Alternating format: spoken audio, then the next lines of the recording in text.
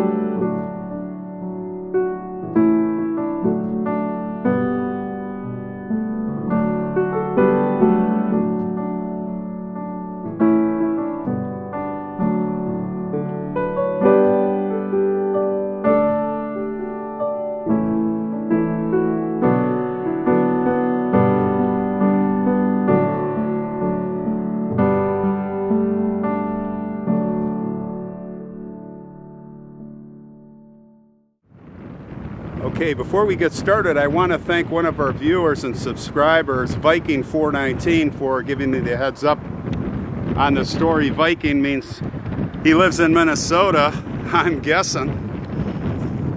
But this is quite a quite a terrible story. We got a little wind blowing, so hope that's okay. Do the best we can with the highway here next door. But the little girl, yeah, her name was Anna Mary Twente. They called her Annie. She was born October 14th, 1880 in Pendleton, Kentucky. Now she was the second daughter of Richard and Elizabeth. Uh, the wife, the mother, of her, she went by the name Lizzie. She had a couple of sisters after her.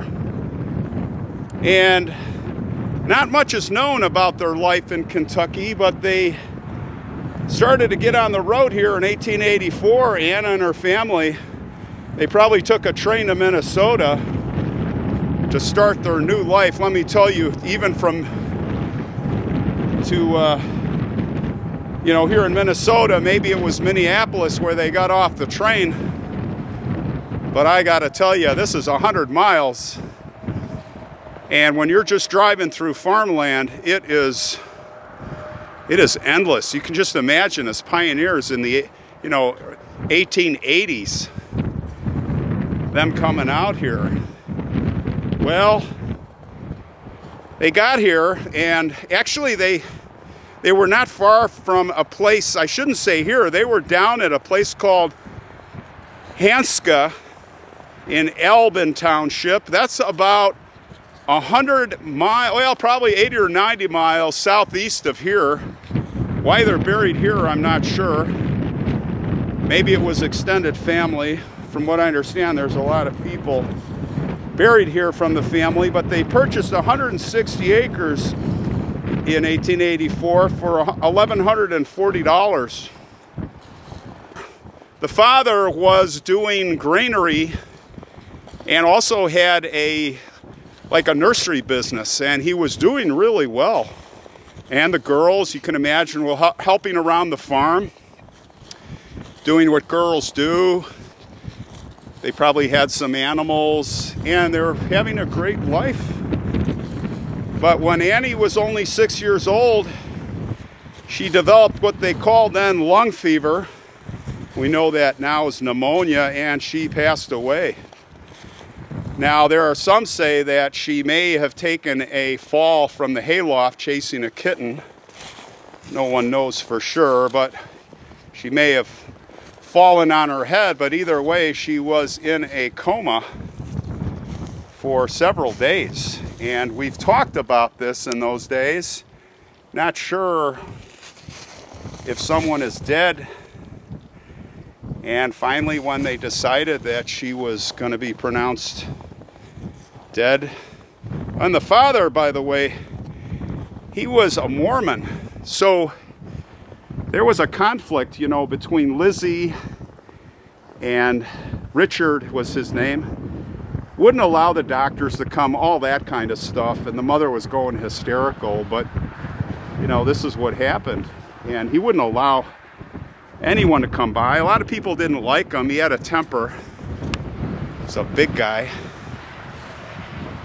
And you know, he basically made the pronouncement that she was dead. After she laid there for many days on October 26, 1886, she was prepared for burial. And little Annie, Annie Mary was laid to rest in Iberia Cemetery, which is now known as Oak Ridge Cemetery. Or the town of Iberia is long gone. Now, Lizzie, the mom,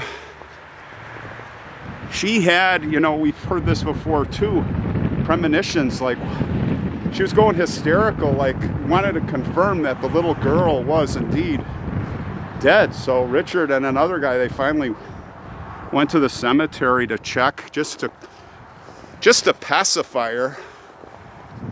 And they dug her up. And to their horror they opened up the coffin and she was there, she was turned sideways, curled up, her hair was pulled out, scratch marks inside the coffin all over the place, and tufts of hair, tufts of hair in her, in her hands, in her little fingers. This reminds me of the Anna Hochwalt. I'll put the link in Dayton, Ohio. Same kind of gruesome details. Same kind of stuff, guys. Really spooky. Well, the father, Richard, yeah, the, the short story on it after that is he basically built, uh, he of course took her home. He, he, was, he, he was beside himself, blaming himself, as you could understand. And what he did was he built a little cemetery there at the farm at the top of the hill. 18 inch thick stone wall, four feet high with an iron gate, and made a little cemetery where he would guard her there for many, many years. Eventually, she ended up here with the rest of the family. You can go, you can go there. There's nothing left, of course. People took everything, but it's it's still there. I'm, I'm going to put a picture of it right here so you can see.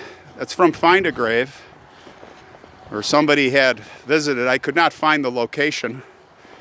Love to go there, but yeah, their graves are right up here. There are two massive stones. Well, one massive stone and a smaller stone. And I am going to actually cut. I'm going to pause the video because I've got to put some gloves on. I didn't realize it was this cold. It's about 16, 17 degrees and my fingers are about to go, so I'll be right back. Okay, that's much better. Oh, oh, well, let's take a look here. There are no inscriptions that I can see on this big one, but it does appear there are inscriptions on this one, and this is I believe the stone, this is their stone.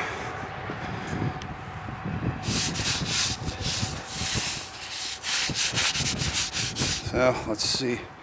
Very tough to read. I did bring the trusty flashlight. Some beautiful carvings. It's made of granite, so we should probably be able to see uh, some of the some of the inscriptions here. Well, there it is. Mary. I don't know if you can read that, guys, but it says Annie Mary right there. And boy, oh boy, it just shows you, even in granite. Well, we'll get it off Find a Grave. I'll, uh, I think it says 18, 1880. Best I can see. Maybe in editing we can see better. And there are some inscriptions here. And again, maybe when this gets produced on this camera, maybe you guys can read it. But I sure cannot. But I will hold the light and I'll give it another pass here. All right. See how that works.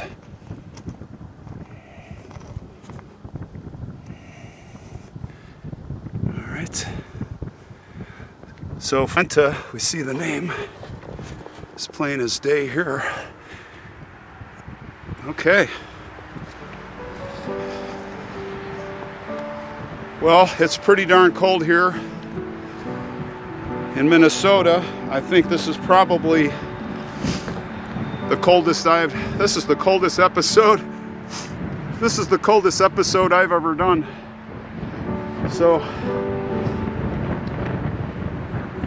thanks for coming with me here. It's been fun, but I am out of here. I'm gonna go warm up in the car. Rest in peace. Annie Mary and Twente family.